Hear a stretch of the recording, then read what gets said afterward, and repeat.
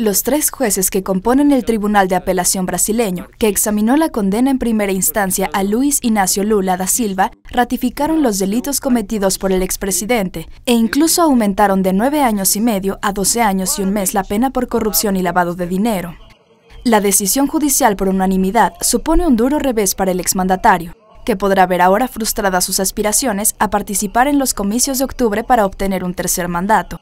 En el juicio celebrado en la ciudad de Porto Alegre, al sur de Brasil, el juez instructor João Pedro Gebran rechazó las alegaciones de la defensa de Lula de Silva, que pidió la absolución y nulidad del proceso y dijo que fue cristalina la participación del exmandatario en la trama corrupta alrededor de Petrobras. El expresidente, que aseguró que nada le detendrá en su carrera hacia un tercer mandato, podrá seguir en libertad hasta que se agoten todos los recursos en segunda instancia, pero después deberá entrar en prisión, lo que podría demorar meses. Con información de Heriberto Araujo, corresponsal en Brasil, Notimex.